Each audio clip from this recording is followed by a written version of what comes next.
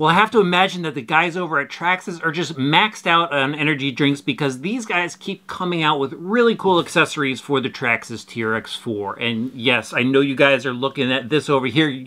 I'm here too, you know. This is the new all-terrain track set, and I'm really excited to show this to you guys. I've always wanted to put tracks on a vehicle, and I've had a couple in the past, uh, some tanks and stuff like that, but this is so cool. I mean, this just brings, you know, your Traxxas TRX4 to a whole new level uh, on what you could do with it and customizing it. And there's just so much now that are available for these kids. It's incredible. But let's get into this. I mean, uh, just to start off, how cool is the box art on this thing? We've got uh, some more detailed shots in the back here of it going through some dirt and some snow and stuff like that. Uh, now, what's in the box here, let me just read this off. It's the, you know, four pre-assembled tracks. Uh, we've got a 17 millimeter wrench, which I'll show you in a little bit. The instruction guide, which is really, really important. And actually, you go and reuse this box later if you want to go store your tracks, put some wheels back on your TRX4. Uh, but there are a bunch of recommendations too. You definitely want to go and upgrade your steering servo. I, I have to assume these tracks are going to put a lot of stress on the steering. Of course, a BEC to go along with that, and a metal servo horn. And you may be wondering, like, is it compatible with your TRX4? Yes, it is compatible with all TRX4s out there, but you may need to do some trimming and some cutting and stuff like that. You know, obviously these tracks are a lot bigger than wheels, and once you start steering, uh, you know, I can imagine it may interfere with the bumpers of the body, maybe even the rock sliders on it. Uh, so now, all right, uh, now I'm to show you guys, I'm to get into this box. It's a pretty neat setup. You're really getting an idea of the quality that Traxxas puts out, even with just the packaging. Check this out the tracks, they're to be run through the dirt and grime and stuff like that, and they come packaged in this nice styrofoam uh, casing here, basically. So let me just show you this really quick. These are the instructions. Uh, definitely read through the instructions. Look, it even says, please read. Um, and then all of these, because there's some important information in here on running the tracks properly. You know what, let me get some of this stuff out of here so you can check this out while I'm talking about uh, the, some of the things you need to know. All right, so there's there's one of the tracks. We'll just show you one of those right now. Let me get that in the camera for you. All right, so these are the things you guys need to know about this. Now, as I said, it works on all TRX4s. Um, but if you have a TRX4 with the shifting transmission, you should always drive it in low gear. Uh, if you're driving something like a TRX4 Sport uh, that has a single speed, you have to really pay attention uh, to this little box right here in the instruction manual. And it basically tells you uh, what gearing to use on there and what batteries to use on there so you don't damage your electronics and stuff like that. Uh, so just wanted to really drive that home with you guys. This is going to be some really cool experiences you're going to have with this stuff, but you know, you have to use it properly. All right, now here is the track itself, and how cool is this? Now there are specific tracks, one for each corner. There's a front right, front left, rear left, rear right, you get the idea. Um, and so they need to go on the proper positions. And, and it's really simple to install these. They come pre-assembled, obviously, uh, and all you have to do is screw the wheel, you know, take your wheel off, screw the wheel nut on, and then there's a shock absorber on the back that needs to be mounted to the portal. So assembly is pretty easy, you know, it should probably take you under uh, 20 minutes to do it. But let's talk a little bit about the track system itself. Uh, you know, we've got the rubber tread on the outside. It's got this kind of chevron groove to it, so it should give it lots of traction. Kind of a firm compound rubber here. So because of that, you really need to let the track acclimate to the type of condition you're going to be running in.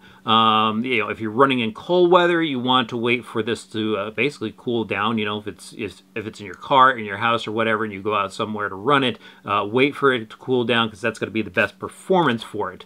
Uh, now the inside here, this is basically all the plastics that you see on a normal Traxxas vehicle. Uh, you know, you got the cool gray plastics here. We've got some black plastic arms and stuff like that. The center section screws together. There is a massive sprocket in the center here, and that's what actually grabs the track. It's got, uh, there's like small teeth on the bottom of the track, fits into the notches of the sprocket, so that makes up that assembly. There is a huge sealed ball bearing back here, um, and that's what the center section uh, rotates on. We've got the steel insert in here, and that's what the wheel bolts do, so it's a nice sturdy mount and uh, you know just tons of hardware in here holding everything together uh, to make sure nothing fails on this. I mean, I just love the look of it too. All the little details, really nice. I mean, there's like little rivets and stuff like that, and uh, the arms uh, they have nice webbing in them and everything. And then we've got the bottom roller wheels, and they kind of pivot and move around.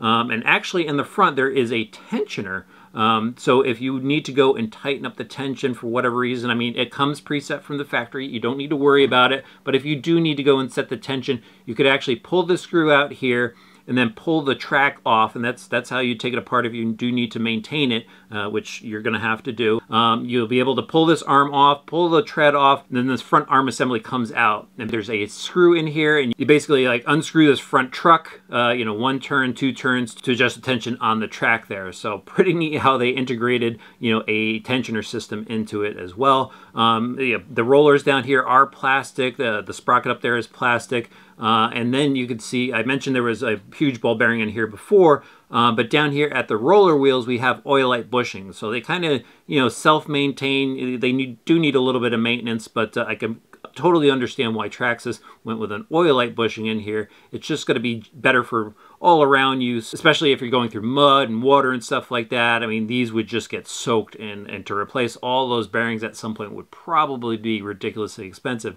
So it really makes sense that they went with a bronze oilite bushing there. So I like that. And then there is a sprung assembly here. There's a little spring in there. Uh, and so as you're rolling over stuff, it keeps uh, you know tension on there and allows some flex in the track. And then, uh, oh, I need to talk to you guys about the shock. So there is a shock in the back here to help damp the track. It does mount to the portal axles with just two screws, but it's pre-set up from the factory it's basically like a small shock that we've seen on like a LaTrax rally or something like that, just fit to here. And they are set up specifically for where they go on the vehicle. The rears actually have a limiter in it that just helps with clearances and stuff like that. You can go and remove that if you want to, but you may have to adjust for clearances elsewhere on the vehicle. So just be aware of that. And then, uh, oh, one more thing. There are differences between the front and rear track. So this is a rear track here, and this is a front track, and you can kind of see there is just a spacing difference. Uh, the rear track is just a bit longer, I guess you could say, than the front tracks. But the really nice stuff. I love this. I can't wait to drive this. Let me get these all out so you can see them. There we go. And then here is the tools and hardware that it comes with. So it comes with a 17 millimeter uh, socket here, basically like a wheel nut wrench, and then the hardware to screw on that bracket I told you about. But again, these things just look so cool, guys. Why don't I head over to the workbench? I'll show you really quickly how easy they go on. And then, of course, we're to go outside and drive it. So I've decided to use our Traxxas Lifted Bronco project to test out the tracks. And one of the reasons is it already has the lift kit on there, which gives the track some extra clearance. And the other thing is I think it's going to look pretty cool. But the third reason is my TRX4 Sport is kind of out of commission right now because, well, spoiler alert, there is going to be a project on that truck as well. So if you want to see that, make sure you hit the subscribe button and the notifications bell so you don't miss that. That's going to be a cool series. But let's get on to swapping out the tracks here. And the first step up is obviously to remove the wheel. I've got my power driver here with a 7 millimeter nut driver on it. I think I'm also just going to need a 2 millimeter speed bit uh, to get the rest of this job done. So let me get this wheel off really quick.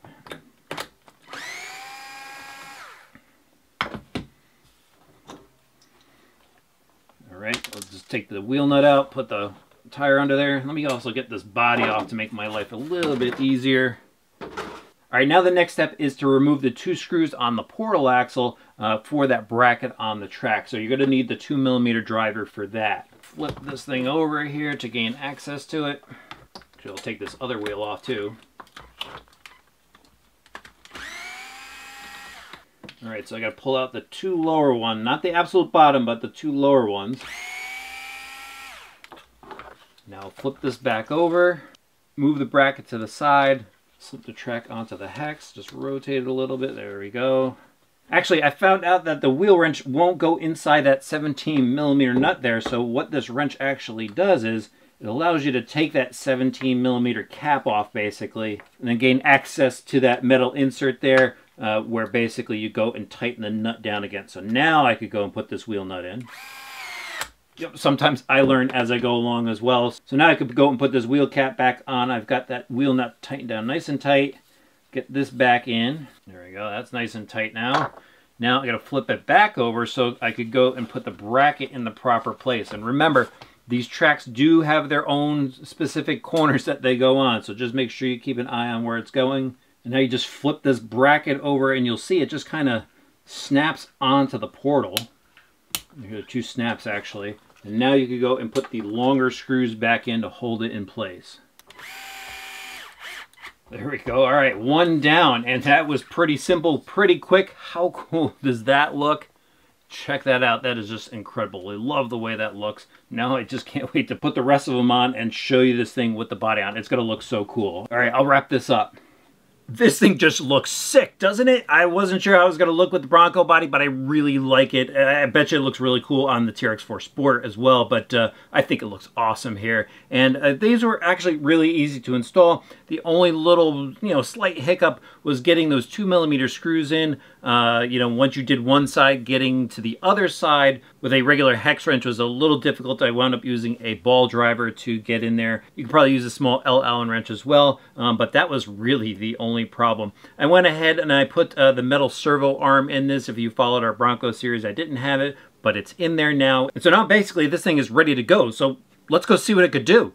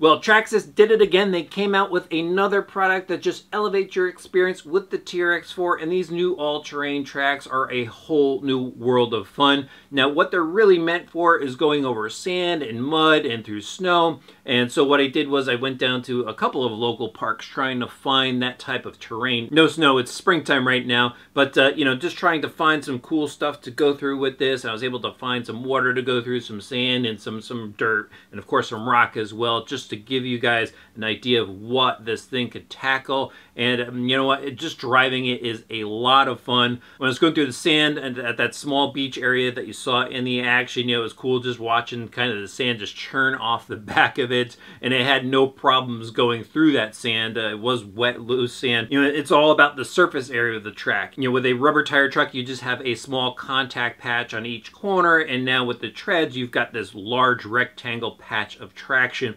And so it just goes right through that. And then when I went through the water and stuff, uh, you know, again, just positive traction through there. Even when I was going rocks and tree branches that were down in the water, this truck was just going right up and over it, not having any problems. Uh, up loose dirt and stuff, it just churns through the dirt. You know, you can just see each corner just grab it and just churning up whatever you're crawling over. And it does actually well over some rock too. And that's not its primary intended use, but it actually does pretty well. It, it actually impressed me over some of the rock it was able to climb up and over. You know, with a rubber tire truck, you get a lot of you know, tire collapsing and tire give that helps you get over a, a rock and stuff like that. Where this, you know, these uh, treads are a bit more square, very like hard edge. Um, and so when you're turning on that, things are a bit more abrupt and stuff. But it actually impressed me climbing over a, a number of different things, even some uh, ledges and stuff like that. I was able to get it up and over. But back to the dirt and the sand and stuff that I was going through, you know, just climbed up through that stuff. I wish I found some mud to go through, but you know what? What I'll do is I will revisit these tracks when I do that TRX4 Sport series